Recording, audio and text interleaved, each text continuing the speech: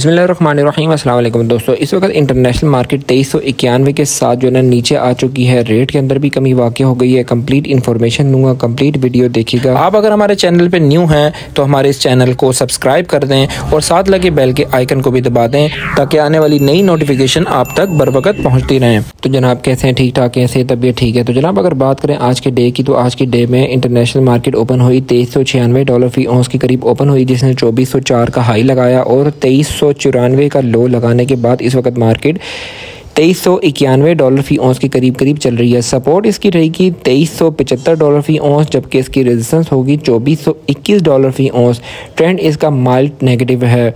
और आज का जो सबसे पहला डाटा है, सात बजे का U USA existing home sales है और U USA Richmond manufacturing index है।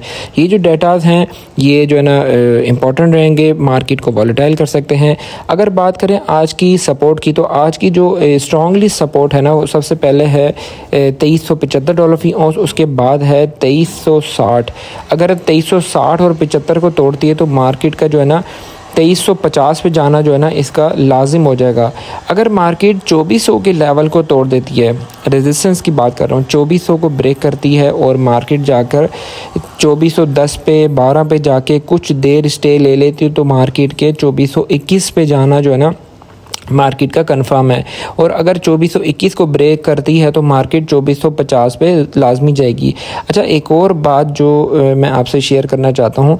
इस वक्त कुछ एनालिसिस्ट हैं जो कि ये बात कर रहे हैं कि बिल्कुल भी गोल्ड को सेल ना करें, क्योंकि गोल्ड ने जो है ना 2500 और 2525 को जो है ना जो है ना इसका टारगेट बना हुआ है और इसने अपने इस टारगेट को अचीव करना है। देखें, इतनी बड़ा जो टारगेट है ना, ये कोई इतनी बड़ी बात नहीं होती, क्योंकि मार्केट अगर चौबीस सौ तीस चालीस को टच कर सकती है तो मार्केट पच्चीस को भी टच कर सकती है। लेकिन इस वक्त मार्केट को किसी ऐसी खबर की या कोई ऐसी स्टेटमेंट की या फिर अगर इंटरेस्ट रेट को कट कर दिया जाए तो हो सकता है कि मार्केट पच्चीस पच्चीस को भी क्रॉस कर सकती है। लेकिन अगर बात करें, इस टाइम जो लोग लॉन्ग टर्म में बात करते हैं इन्वेस्टमेंट करते हैं, ठीक है, उन लोगों के लिए ये सजेशन है कि वो लोग लॉन्ग टर्म में अपने पास गोल्ड अपने पास रखें। और जो लोग जो शॉर्ट टर्म में सेलिंग और बाइंग करते हैं, उन लोगों से ये सजेशन है कि वो लोग कुछ स्टे लें, ठीक है fifty percent gold fifty percent cash में अगर बैठे हुए हैं तो वो लोग स्टे लें यहाँ पर। थोड़ा सा रेट को नीचे आने दें, ठीक है रेट हमेशा ऐसा नहीं होता कि रेट ऊपर से ऊपर जाता है रेट हमेशा कुछ जाने के बाद रिट्रेस लेता है और कुछ स्टेटमेंट्स और ख़बरें ऐसी होती हैं जो कि दोबारा से मार्केट को वापस ले आती हैं। अगर इस वक्त रेट की बात करें तो रेट है दो लाख इक्यावन हज़ार एक सौ रुपये जो कि कम बनना चाहिए, लेकिन माफिया ने रेट को नहीं तोड़ा है। माफिया रेट उस वक्त नहीं तोड़ता जब माफिया ने अपना गोल्ड को निकालना होता है। इस वक्त माफिया ने अपना गोल्ड जो है ना, निकालना है, इस वजह से रेट को नहीं तोड़ा, ठीक है? इसलिए आपने थोड़ा सा सब्र करना है, ठीक है? रेट अगर फोर्टी सिक्स, फोर्टी सेवन पर नहीं आता, फोर्टी एट पर भी आ जाता है तो वहाँ पर भी आप बाइंग कर सकते हैं ईजीली बाइंग कर सकते हैं। लेकिन फ़िलहाल यहाँ पर बाइंग नहीं बनती क्योंकि जो अगर रेट बनाया जाए जैनवन रेट इस वक्त बनता है टू फोर्टी नाइन तीन सौ चौबीस रुपये इस वक्त जैनवन रेट बनता है, लेकिन माफिया ने इक्यावन पाँच सौ रुपये जो है ना रेट रखा हुआ है इक्यावन एक सौ। तो इस वजह से मेरी ये सजेशन है कि फ़िलहाल यहाँ पर बाइंग ना करें थोड़ा सा वेट करें रेट नीचे आएगा तब बाइंग करेंगे, ठीक है?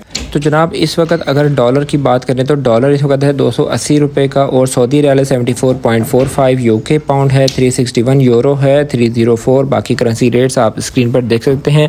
पीस की रेट की बात करें तो इस वक्त दो लाख इक्यावन हज़ार एक सौ रुपये पीस का रेट है पठूर का रेट है दो लाख अड़तालीस हज़ार दो सौ रुपये और इस वक्त कराची में इस वक्त सेलिंग हो रही है दो लाख पचास हज़ार छः सौ पचास रुपये। डॉलर ने कल के डे में क्लोजिंग दी थी दो सौ अठहत्तर इशारिया तीस पैसे में क्लोजिंग दी थी। पिशावर में इस वक्त पक्के तोले का रेट है दो लाख इकसठ हज़ार पाँच सौ साठ रुपये। उम्मीद करता हूँ वीडियो आपको अच्छी लगी हुई ग्रुप सर्विस को ज्वाइन करना चाहते हैं नंबर स्क्रीन पर मौजूद है।